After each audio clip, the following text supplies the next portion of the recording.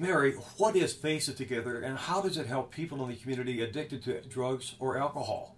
Face It Together is a community recovery organization, nonprofit, that is there for those who suffer from substance use disorder, families and individuals, and we provide a variety of resources and services to those seeking a pathway to recovery, including what we do in terms of helping people uh, with finding their resources and finding a pathway, as well as doing recovery education in the community to reduce the stigma and shame and fear associated with this illness, and to also do advocating in the community to change the way we view this disease and the way we treat this disease. And the bottom line is there is always hope.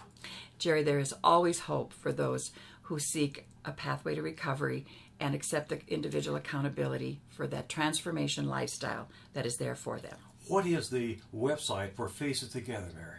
It is www.faceitsioux.org. Thank you, Mary. Are good. Have a good day, Jerry.